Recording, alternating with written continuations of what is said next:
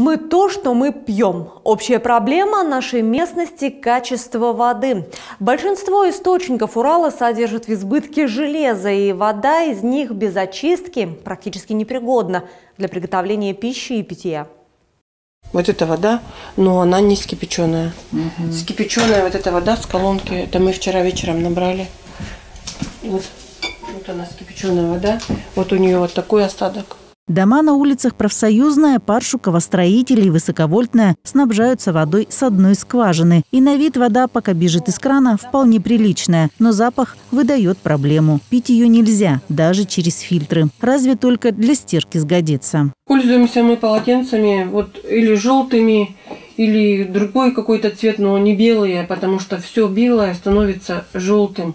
Вот пользуемся потемнее, берем. Так же, как и постельное белье мы покупаем. Сейчас тоже белое мы не покупаем, потому что все стирается и все начинает желтеть. Чтобы приготовить пищу и попить чай, жителям микрорайона приходится набирать воду в городе, покупать в магазине или приносить с родника. Жалобы в администрацию поступают уже давно. В этом году руководством выработано решение. Возле скважины на Высоковольтной 23 будет отдельная станция водоподготовки. Заключен контракт на разработку проектно-сметной документации на строительство. Контракт у нас э, до 20 декабря. Стоимость проектных работ 650 тысяч рублей.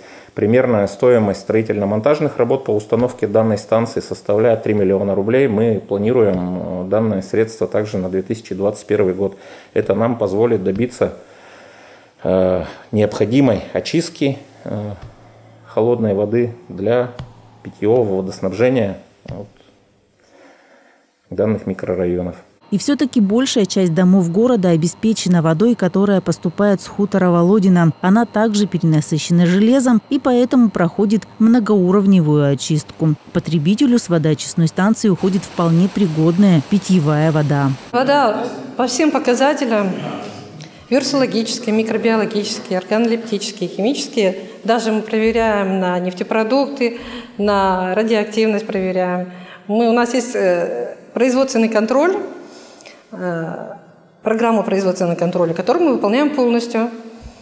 И вот э, согласно этой программе производственного контроля, два показателя литий и кремний, мы имеем превышение, небольшое, но превышение по анализам качества воды. Для устранения этих превышений необходима реконструкция станции водоочистки. Этот вопрос прорабатывается в данный момент. А вот строительство второй магистральной ветки с хутора Володина уже в проекте. Его реализация позволит устранять аварии водопровода без отключения воды в городе.